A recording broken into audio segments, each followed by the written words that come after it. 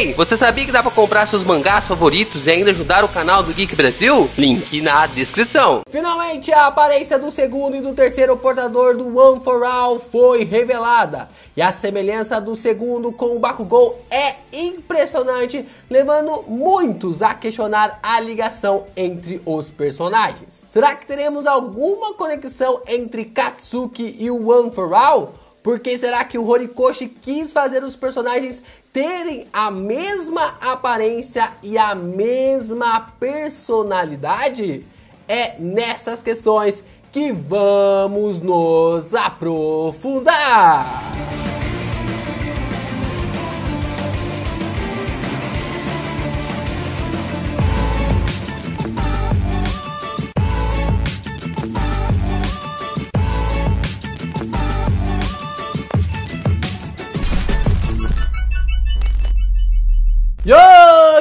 Geeks, aqui é o LP e vocês estão no canal do Geek Brasil. Fiquem ligados porque esse vídeo contém spoilers do mangá de Boku no Hero. Sim, pessoal, vamos aqui conversar e discutir muito sobre esse, digamos, vigésimo quadro de reforço. Caraca, faz em 20 edições que nós estamos trazendo aqui o quadro, um dos quadros mais bem sucedidos do canal de perguntas e respostas. One Piece ainda está engatinhando aqui no canal, mas o One Piece One Piece ainda está engateando aqui no canal, mas Boku no Hero já está decolando junto com Black Clover. Ainda acredito que vai ter bastante gente curtindo One Piece aqui no canal, mas Boku no Hero a gente já está fazendo a diferença. E eu sei se você está empolgado com esse vídeo, já deixa seu like, se inscreva aqui no canal e também compartilha ele com seus amigos. Entra lá no nosso Discord pra gente conversar bastante coisas, o link está na descrição desse vídeo. Também se você puder ajudar o canal do Geek Brasil se tornando um membro, temos planos a partir de R$ 1,99 mensais e é claro, você pode comprar através dos nossos links da Amazon. Sempre importante você ajudar o canal do Geek Brasil com aquela comissãozinha. O Maurílio já traz um comentário bem interessante envolvendo as consequências de Tártaros. LP, como você acha que vai ser desenvolvido esses prisioneiros que escaparam de Tártaros? Porque foi mostrado um Style pegando uma espada e na fuga mostrou com destaque uma mulher bonita. E também tem o Shisaki saindo correndo gritando pai, sem dizer aquele prisioneiro que estava no corredor da morte, que tem a individualidade de lâminas que saem da boca, que foi derrotado pelo Tokoyami sendo descontrolado no acampamento. Todos eles tiveram destaque nas câmeras antes de começar a invasão ao Tartarus. Queria saber como você acha que eles vão ser desenvolvidos. Reforço 20. Maurílio, eu acredito que vai servir apenas de escada, como foi ali com o muscular, né? Eu não acho que vai ter é, alguma dificuldade, coisa do tipo. No máximo, no máximo, no máximo, o Deku se aliando ali ao Overhaul, né? Ó, que absurdo. Mas o inimigo do meu inimigo é o meu amigo, né? Claro, a gente já tem essas condições, então o Overhaul odeia o Shigaraki. Ele, porque, só para vocês terem uma ideia, o Shigaraki ele abriu todas as prisões, menos ao do Overhaul. Então ele deixa o Overhaul é, trancado lá dentro. E quem liberta é essa menina misteriosa que a gente não sabe o nome, não sabe quem é. Ela realmente é, tem um destaque, abre ali a porta é, do Overhaul e ele acaba conseguindo escapar, né? Abre a porta ali do Shisaki e ele acaba conseguindo escapar. Então a gente tem essas ações, mas eu acho que todos esses personagens, menos essa menina, né, essa, essa garota, essa jovem, eu acho que vão servir apenas de escada para realmente mostrar as forças do Bakugou, do Todoroki, da Uraraka, do Ida, desses personagens que fazem parte aí do ciclo principal, né? A gente já viu o Deku ali realmente atropelando o muscular e eu acho que os próximos personagens ali da, que fugiram de Tartarus vai ser apenas para ser é, escada para evolução ali dos alunos da Way. Ramon Marques traz uma pergunta que envolve ali sobre como que vai ser esse encontro de Todoroki, Bakugou e Uraraka com Deku. LB, acha que a Uraraka, Bakugou e Shoto vão formar um time para ir atrás do Izuku e tentar trazer ele de volta para a Way? Reforço 20. Não, não acho por quê, né? É, provavelmente o Bakugou e o Todoroki, eles estão agindo de uma forma legal, né? Então, tanto os dois personagens, eles estão fazendo igual esse cara que tem individualidade do tremor, né? Que ele tá lidando como sendo um sidekick quase, né? Como se fosse ali realmente a um companheiro, um aliado do super-herói mais famoso. Então provavelmente o Bakugou e o Todoroki vão estar junto ali do Endeavor em missões, digamos assim, oficiais, de lições oficiais, enquanto o Deku vai mexer com o submundo, porque existem muitos, é, digamos assim, muitos bandidos, muitas, muitos vilões que estão é, soltos no submundo e quem está lidando com ele é o Deco. E é bem interessante a gente analisar isso, porque se a gente trazer aqui a conversa do Deco com um dos portadores ali no capítulo 310, ele mesmo fala que, caraca, parece muito a minha época, na qual a gente tinha que viver escondido e conseguir realmente viver um dia de cada vez.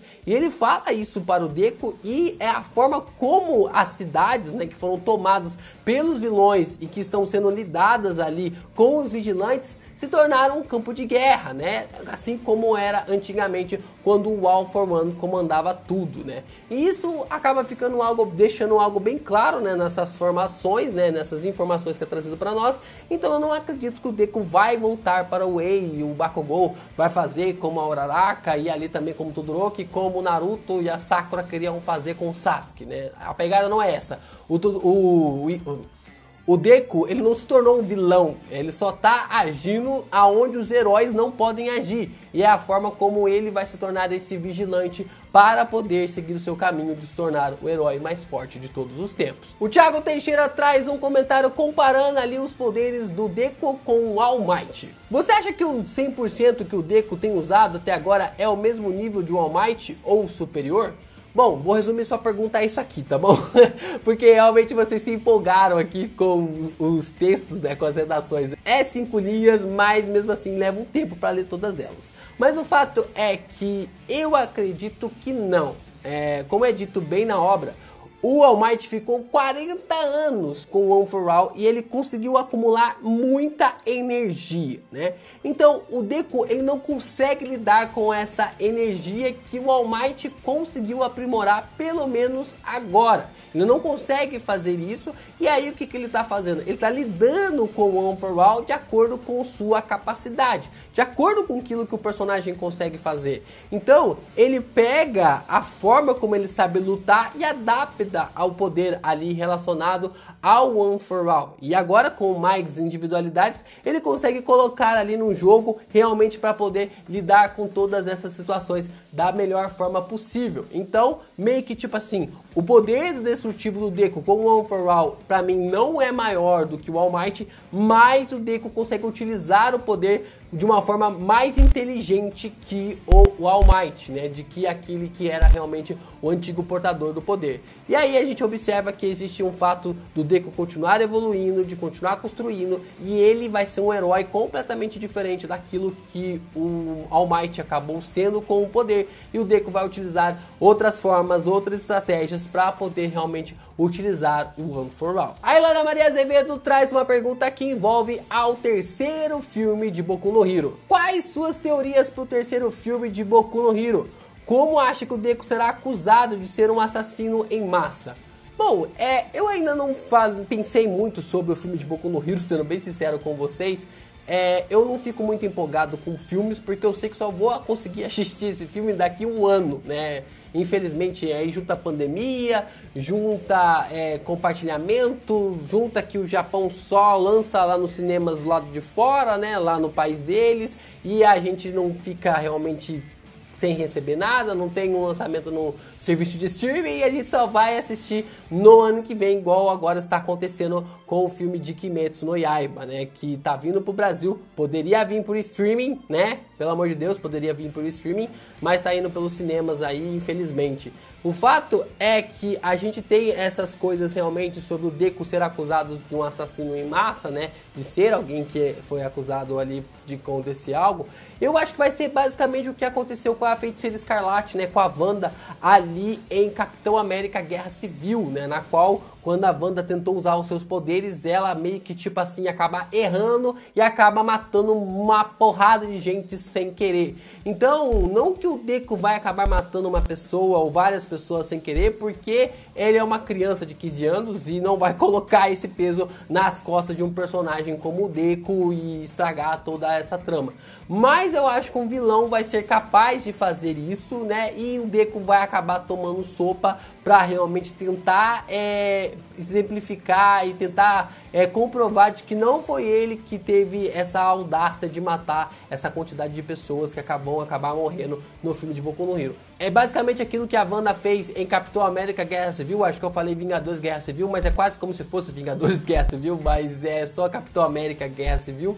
E que resume aquilo que a gente entende sobre como Boku no Hero pode lidar com isso em um filme, como não tem espaço para adaptar e desenvolver isso em é, no mangá, eu acho que é uma boa opção, uma boa estratégia. Mas infelizmente a gente só vai assistir esse filme daqui um ano. O Evan de Souza traz uma pergunta bem interessante envolvendo ao Kaminari e também um personagem que usa poderes elétricos que a gente ama bastante. LP, me responde, é possível o Kaminari conseguir voar que nem um Super Choque usando sua eletricidade em um disco de metal?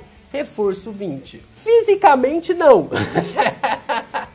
Fisicamente não seria possível ter o vídeo do Nerdologia, do Atila, explicando né, sobre como não seria possível é, você levantar o seu próprio peso em um disco de metal através da eletricidade. Né? Teria que gastar muitos joules ali para poder fazer isso. Mas como estamos falando de Boku no Hero, sim, seria possível caminhar e fazer isso e tudo mais, né? nessas adaptações e referências mas eu acho muito, muito, muito, muito, muito difícil por alguns motivos, né? É, Super Shock ou Stage Shock, né, que é como mais conhecido lá fora, o Super Choque ele não faz tanto sucesso nos demais países, né? É, inclusive, o, o grande sucesso de Super Choque aqui no Brasil é a sua animação, né? E como estourou aqui no Brasil de uma forma de todos, ou a maioria das pessoas conseguirem se identificar com alguma coisa da animação. Marcou a infância de muita gente aqui no Brasil e marcou a infância de várias pessoas. Então, o Super Choque, ele é um herói que muitos aqui amam, é um herói criado para animação, depois ele foi para os quadrinhos e também para os outros é, séries animadas, né, as outras séries animadas. E eu acho que dificilmente a gente vai ter alguma referência do Super Choque em obras ali relacionadas a mangás, porque é um personagem que não faz sucesso fora do Brasil, além de um pouquinho nos Estados Unidos mas bem difícil mesmo. Então eu acho que merece uma série na HBO Max para divulgar um pouco mais sobre o personagem e quem sabe mais para frente rolar um filme também ali com Batman do futuro, né? A gente tem bastante questões aí relacionadas a essas instruções. A pedra que esmagou o Obito, ele já traz aqui uma pergunta envolvendo aos poderes do segundo e do terceiro portador. LP, qual vai ser a individualidade do segundo e do terceiro portador para fazer todo esse ar de suspense? Reforço 20. Cara, eu tava com a teoria, né, de que o Deku conseguisse um poder de regeneração que afetasse a sua energia vital, né? Ou seja, afetasse ali os anos de vida que o personagem tem. Isso eu acho que seria uma, uma coisa bacana para você fazer uma troca, né? Através de conseguir utilizar a regeneração e poder, poder dar soco e essas coisas mais que o personagem está é, realmente limitado, né? A gente observou nos últimos capítulos. Mas eu tô quase descartando essa teoria minha, porque eu acredito que vai ser algo um pouquinho mais interessante ver a cara do Bakugou com o Deku utilizando também poderes de explosões, né? Bom, vamos falar disso daqui a pouco. Vamos falar disso daqui a pouco não, né? Vamos falar disso agora na próxima pergunta. O Anime News BR então traz a pergunta que leva o título desse vídeo. LP, olá, tenho a seguinte questão. Seria o segundo portador o antepassado do Bakugou? Ele tem sua aparência muito similar ao Bakugou, fora a manopla em sua mão que é quase idêntica à que o Bakugou usa na série. Ele é um possível tataravô do Bakugou ou tem alguma ligação com a família Katsuki? Não acho que o Correio faria tamanha semelhança entre os personagens sem segundas intenções. Reforço 20. Vamos lá, né? Eu gostei dessa pergunta, trouxe aqui o Anime News BR, trouxe uma pergunta aqui que vale realmente o título desse vídeo. E eu até falei ali na análise, né? Se vocês ainda não assistiram a minha análise do capítulo 310, já está disponível desde sexta-feira para vocês poderem realmente acompanhar e saber um pouco mais sobre o que rolou e várias discussões sobre como o segundo portador se parece com o Bakugou e tudo mais, né? Bom, a aparência, né, personagens semelhantes em Boku no Hero, ele é bastante comum. Horikoshi ele faz isso mesmo, né? Além de termos personagens com aparências bem iguais, nós também temos personagens que também utilizam o mesmo storyboards, né? Eu não sei se é essa palavra seria ideal, que é storyboard, porque eu não sei como que fala isso relacionado a mangá, quando você recicla a aparência de um personagem. A, a, a mina, né, a Shido, ela tem a mesma silhueta, né, na forma como do cabelo e da cabeça ali, que, e até mesmo a formação dos olhos do que o Deco. Muitos outros personagens em Boku no Hero também tem isso, isso se chama reciclagem de processos para facilitar com que a obra seja realmente, é, digamos assim, acabe sendo desenhado de uma forma mais rápida, mais acelerada e de um jeito mais dinâmico. E a gente também consegue ver isso com a Inko e a Nana que são bastante parecidas, né? Até mesmo o All Might comenta, né, que a Inko ela parece muito com a Nana Shimura, que ela lembra bastante a sua mestra, e ali o Deco acaba realmente rindo, brincando com todas essas ações. A gente já teorizou aqui no canal várias vezes também sobre a Inko ser parente da Nana Shimura e tudo mais, mas temos quase como certeza que essas teorias já foram descartadas pelo andar da carruagem da obra de Boku no Hero.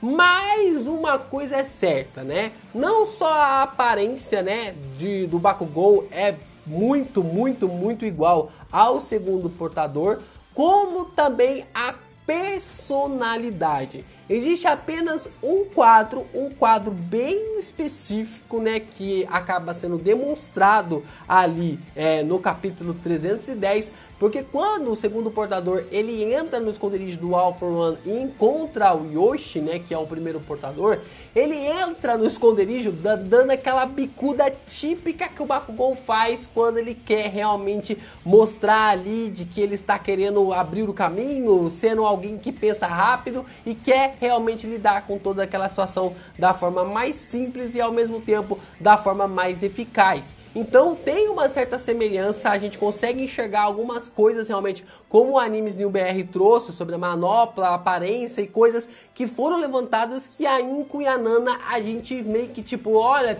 teorizava aqui, mas ao mesmo tempo com os pés no chão chama bastante atenção essa ligação ali do desse personagem, desse segundo portador, porque talvez essa seria a chave do porquê a individualidade do Bakugou é extremamente forte e como chama a atenção de várias pessoas, até mesmo de ligações como o personagem sendo um destaque tão recorrente ali da turma 1A da Way, né? Mesmo não pertencendo a nenhum lugar, chamando a atenção desde pequeno através dos poderes realmente relacionados aos explosivos.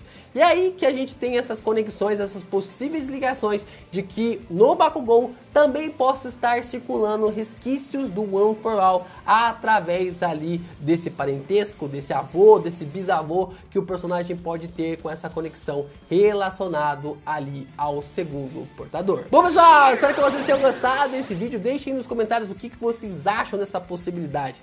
Existe algum grau de parentesco entre ali o Bakugou e também a gente possa observar esse segundo portador? Existe alguma conexão entre o One for All e o personagem que justificaria esse poder absurdo que tem a individualidade do personagem? A gente tem bastante coisa para teorizar e conversar sobre isso, porque o Horikoshi vai começar esse arco final de uma forma inesquecível. E é claro, né? Se você chegou até aqui nesse vídeo, deixe a hashtag a ligação de Bakugou. Sim, não a ligação no telefone, mas a ligação com o One for All, porque você já sabe, você já tem conhecimento que cada comentário, cada curtida ajuda pra caramba o canal do Geek Brasil a trazer mais pessoas pra cá, mais fãs de Boku no Hero. Cheguem até aqui no canal e a gente vai discutindo, vai conversando e vai teorizando ainda mais sobre essa obra fantástica. Isso é tudo, pessoal! Valeu!